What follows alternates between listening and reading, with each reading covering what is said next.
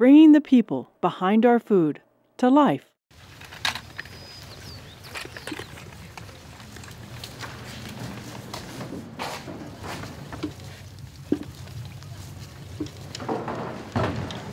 We do 17 farmers markets in a week, so every single day we have a, a market to get ready for.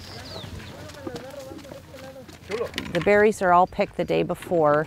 If it's an evening market, sometimes the berries will get picked that day. But we like to pre-cool the berries, so we pick them the day before. The shelf life of the berries is longer if we can pre-cool them. So customers can get them home and have a little bit longer shelf life with the berries. So that's what we were doing this morning, getting the vans loaded, ready to go to market. Um, it takes, um, we load anywhere from um, 150 to 350 in one van for a market.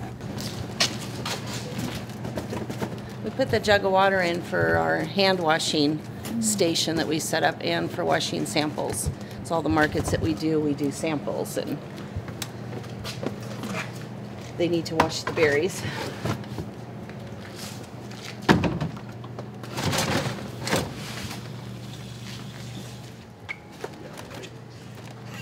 think you have everything. Well,